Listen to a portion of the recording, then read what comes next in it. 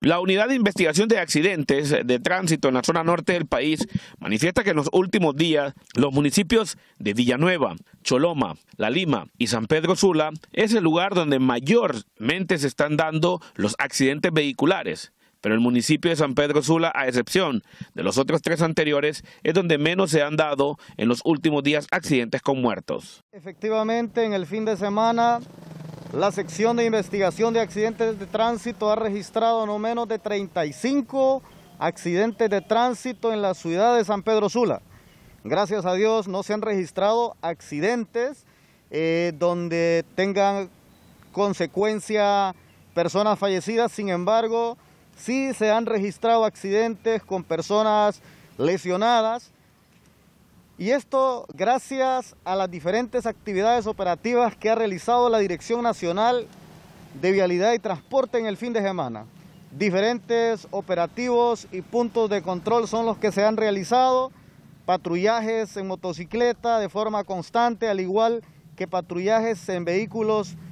de policiales eh, tipo patrulla. Gracias a esto, pues, eh, en lo que va del mes,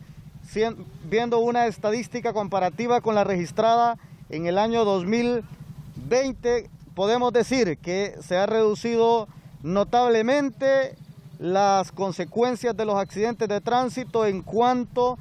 al número de accidentes, asimismo en cuanto a las consecuencias y me refiero puntualmente en cuanto a la cantidad de personas fallecidas por accidentes de tránsito en lo que va del mes son dos personas las que se han registrado y gracias a Dios en este fin de semana no se registraron accidentes con víctimas eh, mortales por accidente de tránsito. No así en el municipios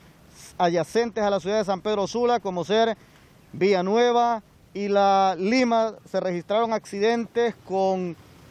con personas lesionadas de gravedad, en donde Luego de realizar las respectivas investigaciones por parte de la sección de investigación de accidentes de tránsito, se determinó causas eh, principales como ser la ingesta de bebidas alcohólicas. Es importante mencionar que la ingesta de bebidas alcohólicas ahora mismo es considerada conducción temeraria y los conductores que en estos accidentes fueron eh,